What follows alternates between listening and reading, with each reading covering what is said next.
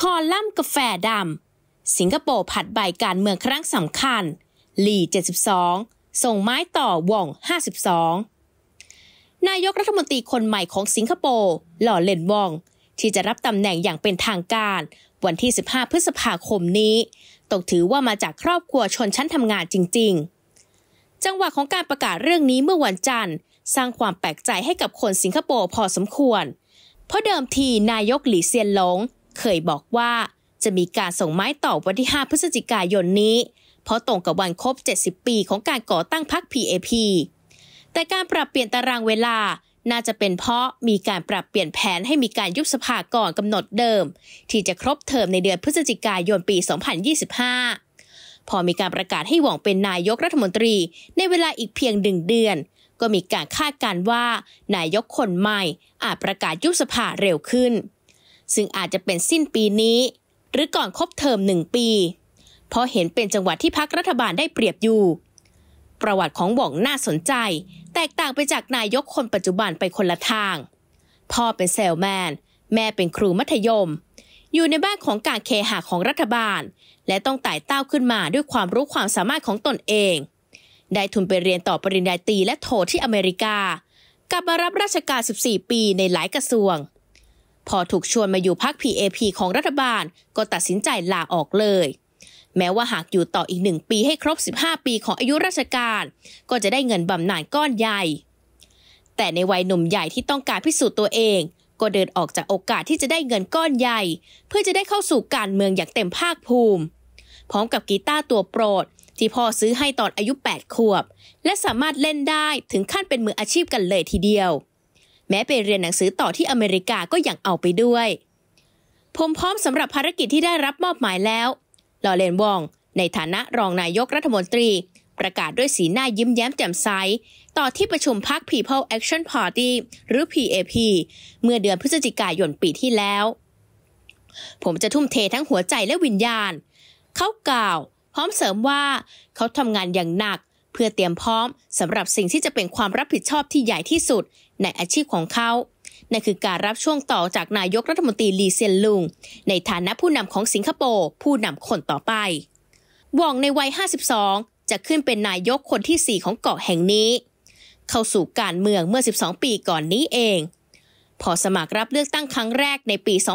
2011 เขาได้รับเลือกเป็นสมาชิกรัฐสภาในเขตเวสต์คอร์จีอาซี และภายในสองสัปดาห์หลังการเลือกตั้ง ก็ได้ดูแลกระทรวงศึกษาธิการและการป้องกันประเทศ ในการเลือกตั้งทั่วไปปี 2015 ย้ายไปลงเขตมาซิรียูตี GRC พอชนะอีกรอบก็ได้เลื่อนเป็นรัฐมนตรีประจำการ นับตั้งแต่นั้นเป็นต้นมา จากนั้นเขาก็กลายเป็นดาวรุ่งของการเมืองอย่างเห็นได้ชัด ได้ดูแลกระทรวงต่าง รวมถึงกระทรวงวัฒนธรรม ชุมชนและเยาวชน โดยได้เป็นรักษาการรัฐมนตรี และขึ้นเป็นรัฐมนตรีเต็มตัวในอีก 2 ปีต่อมา หลังการเลือกตั้งในปี 2012 วงย้ายไปดูแลกระทรวงการพัฒนาแห่งชาติ โดยดำรงตำแหน่งจนถึงเดือนกรกฎาคมปี 2020 ปีนี้โควิด -19 อารวาสวงได้รับมอบหมายให้เป็นประธานร่วม คณะทำงานเฉพาะกิจจากการบริหารโรคระบาด เป็นบทบาทที่สร้างความโดดเด่นให้กับเขามากเพราะได้ชื่อว่ามีความสามารถในการประสานงาน และสื่อสารวิกฤตให้กับสาธารณชนอย่างมีประสิทธิภาพ ตอนนั้นเขายังไม่ได้เป็นทายาททางการเมืองของนายกหลี่เซียนหลง เพราะรองนายกแห่งสวีเคียสคือตัวเต็งอันดับหนึ่ง แต่เขาประกาศถอนตัวในเดือนเมษายน 2021 โดยข้ออ้างว่าเพราะอายุ 60 ปีแล้ว เท่ากับว่าทางวิ่งสั้นเกินไป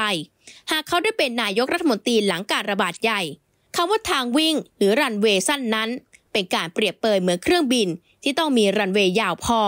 กับตันจึงจะสามารถนำเครื่องบินขึ้นได้อย่างปลอดภัยลีกวนยู ผู้ก่อตั้งสิงคโปร์เป็นนายกในวัย 35 โกจกตงที่เป็นนายกต่อมาอายุ 40 ตอนที่รับตำแหน่งต่อจากหลีผู้เป็นพ่อ ตัวหลี่เซนหลง นายกคนปัจจุบันอายุ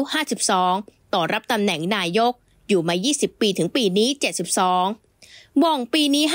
52 หากเฮงรับตำแหน่งทายาททางการเมือง ปีนี้ก็จะอยู่ 62 ซึ่งสำหรับสิงคโปร์ถือว่าชราภาพ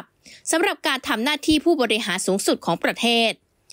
ว่องซึ่งในขณะนั้นเป็นรัฐมนตรีกระทรวงศึกษาธิการ เข้ารับตำแหน่งกระทรวงการคลังต่อจากเฮงในการปรับคณะรัฐมนตรีครั้งต่อมา ถือเป็นข้อบ่งชี้แรกเกี่ยวกับการรับไม้ต่อในฐานะผู้นำสำหรับเขา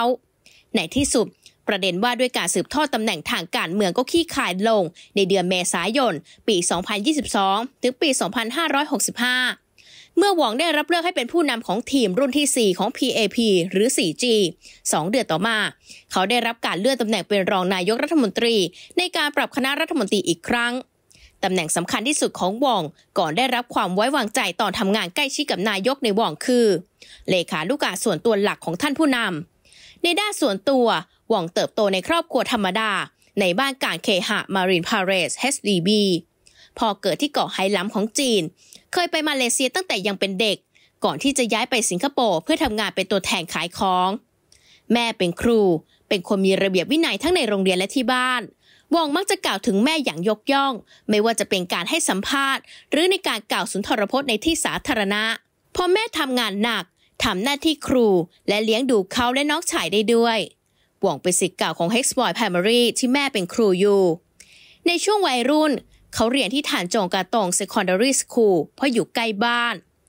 ต่อมาก็ไปเรียนต่อวิทยาลัยวิกตอเรีย ได้รับปริญญาตรีและปริญญาโท สาขาเศรษฐศาสตร์ จากมหาวิทยาลัยวิสคอนซินเมดิสัน และมหาวิทยาลัยมิชิแกน Ann Arbor และสำเร็จการศึกษาระดับปริญญาโท สาขารัฐประศาสนศาสตร์ จาก Harvard Kennedy School ความรักในกีตาร์ของเขาย้อนกลับไปเมื่อตอนที่พ่อของเขา มอบกีตาร์ตัวแรกให้เขาเมื่ออายุ 8 ขวบ เขาใช้เวลาช่วงสุดสัปดาห์ ยืมหนังสือกีตาร์จากห้องสมุด Marine Parade และเมื่อเขาได้รับทุนรัฐบาลไปศึกษาต่อที่สหรัฐอเมริกา ก็เอากีตาร์ติดตัวไปด้วยหว่องบอกว่าการเล่นกีตาร์ช่วยเขาคลายเครียดและผ่อนคลาย เขาเคยโพสต์วิดีโอหลายคลิปที่เล่นกีตาร์ดีดหกสาย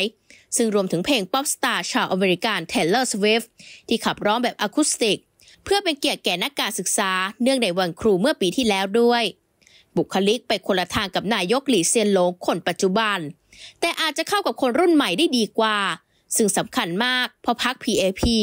จำเป็นต้องขยายฐานความนิยมของคนรุ่นโซเชียลมีเดียมากขึ้นทุกที